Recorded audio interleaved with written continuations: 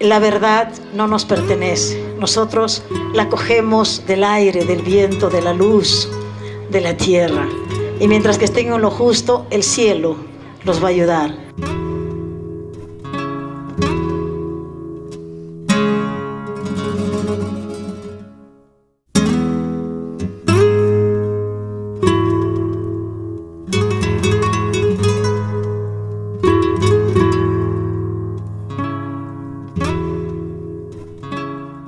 Entonces me iba a quitar la chumpa y le he pedido permiso a los señores policías ahí, que son mis amigos y que les gusta Martina. Ellos cantan Flor de Retamo. Vamos a darle el micro. Venga mamá, venga mamá.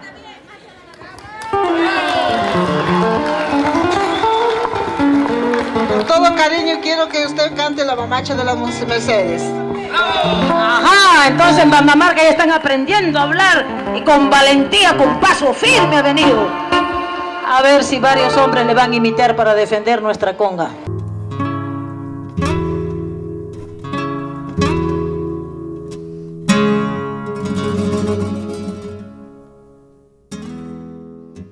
Tienen mayor importancia de nosotros, de nuestras culturas ancestrales en el extranjero que aquí. Hay que reivindicar todo el Perú. El Perú es riquísimo, el Perú es grande, porque somos una continuación, un eslabón histórico que continúa, no se estanca por, por mucho menosprecio que haya sentido el andino fundamentalmente.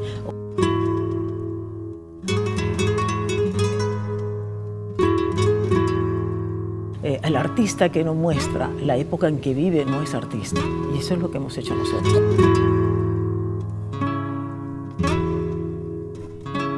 El 25% de los niños que nacen con vida estén en extrema pobreza, que aquí en Cajamarca estén más del 44% y en Apurímac más del 50%. Es un insulto a nuestra dignidad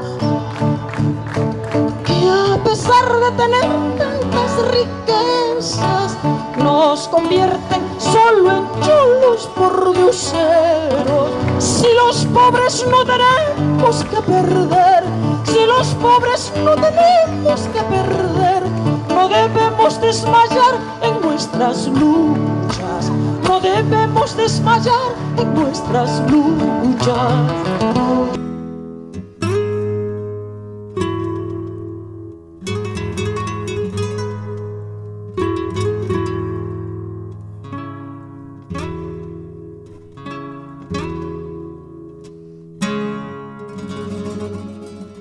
Haciendo eh, méritos para poder eh, ser una de las eh, nuevas candidatas, un, nuevo rostro, pero con posiciones bien claras de defensa de los derechos conculcados de los trabajadores, de un cambio de constitución que nos permita ser peruanos con iguales derechos, iguales deberes, que se muestre la multiculturalidad y la multietnicidad de nuestros pueblos. Y por eso estamos irrumpiendo en la política con todo el conocimiento ancestral de ahora y lo que va a venir para las nuevas generaciones, para que la política es el arte de convivir, el arte de, recrear eh, lo que tú piensas y lo que yo pienso para que la verdad nos acerquemos un poquito cada vez más. La política no es competencia, no es esos líos que hay, que hay en el Congreso. Es capacidad, grandeza de espíritu e intercambio cultural, de época, de sentido y de servicio.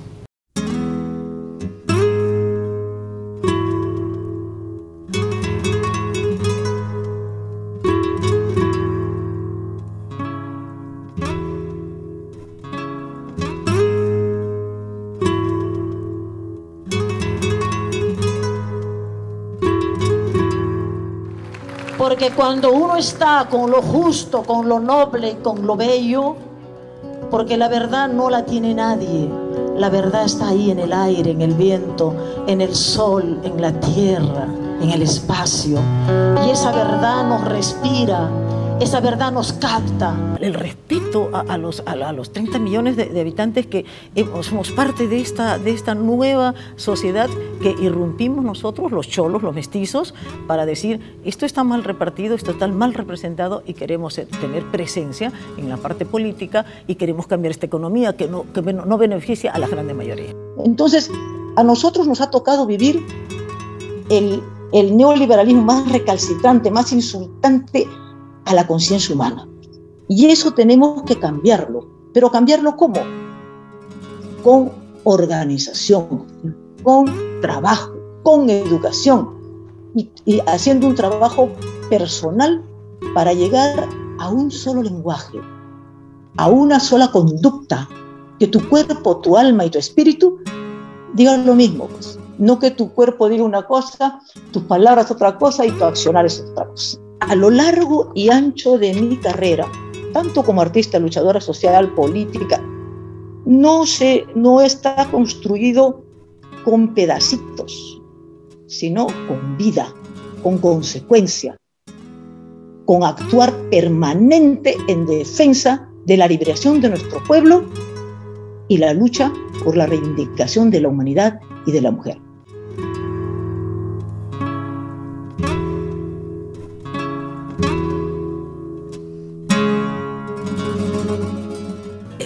Recorrido mi patria entera, de pueblo en pueblo, de barrio en barrio. Y en cada pueblo palomas cantaban, quejándose sus sueños frustrados, quejándose de tanta miseria, vida, como te amo, pueblo, como te amo.